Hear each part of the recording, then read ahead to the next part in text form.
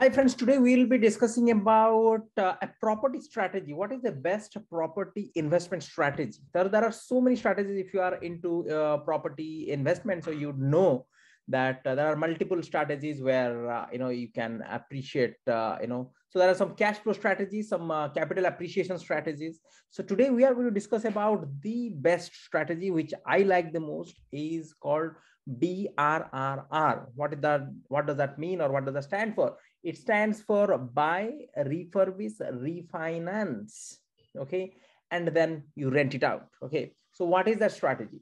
So buy, refurbish, refinance is, uh, you know, where, as the name suggests, you buy the property and then you refurbish it. So that means there is a catch here as well. Okay. What is, what is the catch or what is the uniqueness about this property? It is a property where you can add a value to your, uh, that property. That's very, very important. Okay.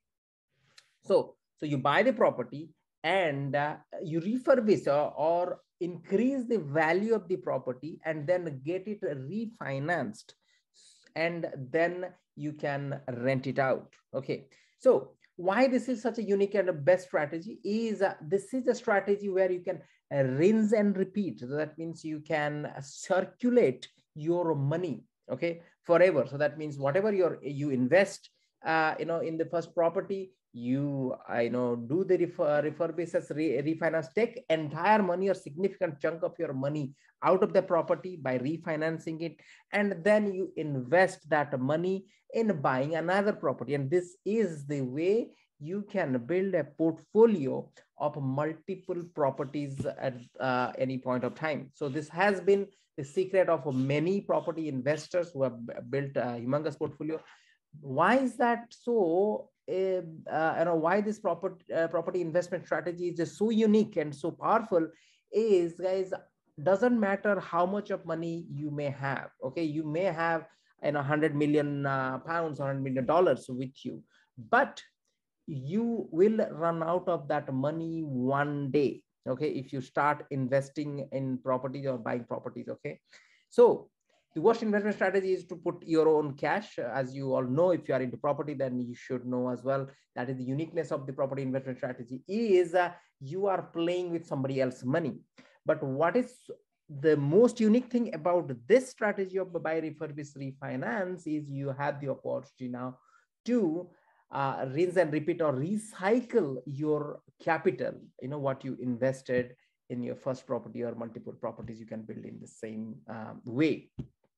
So what kind of property you should look for? Very, very important. You make money in any investment when you buy, not when you sell. Very, very important. What does that mean? So that means uh, if you are buying a property, it's not you know when you are selling the property you make money but when you buy what does that mean so it means you have to buy the property at a very uh, good price at a very good time at a very good location. So that means all depend on when you buy it.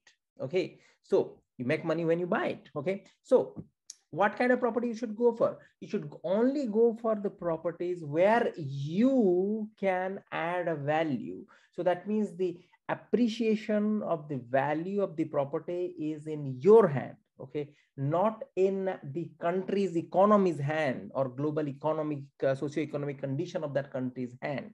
So that means uh, this is the way i can have full control on the appreciation. So how do you how can i uh, leverage that is if i go for a beaten up property so that means let's say a property where you know um, the the kitchen is really bad you know in a, in a bad condition okay? So probably i may not get a, a mortgage okay? What i do then is i may uh, you know finance it from my own pocket or i may have a bridge finance uh, you know um, company to finance it. And then what i do is i then appreciate the value of the property by putting the kitchen in okay? So that means what happens here is the price of the property significantly goes up. Why? Because earlier it was not mortgageable or not, not able to be financed by a bank. Now, when I invest my money and in uh, you know it becomes mortgageable because you know the kitchen is in order even if let's say i put uh, you know uh, 10 20 uh, 30000 pounds or 30000 dollars whatever i am putting in to uh, you know increase or to make that kitchen now suddenly that value of that property becomes high because it's mortgageable it can be sold okay? So then if i buy the property let's say in 100000 pounds now it uh, it uh, with 20000 pounds of investment that property became uh, the value became 150,000 170,000 so now i forced appreciated. I uh, because uh, i had the full control on the appreciation of the property not on the uh, you know the country's economy or the you know uh, property index if it's going up or what is the rate it is going up. And based on that i um, you know i can uh, take the equity out.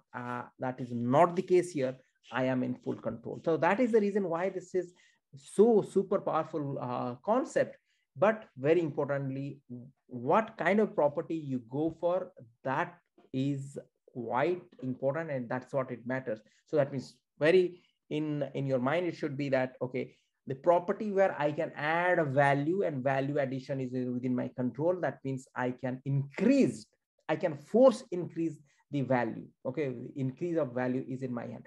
But definitely the property has to be in good location. That means property you know has to be in in a place where it is uh, rentable. That means in high demand probably you know where uh, you know the commutable distance from from you know your um, you know the city center or the town um, you know that should be you know you know the the workforce that means the people uh, you know uh, there that should be a good demand uh, of the, of uh, the properties in that market.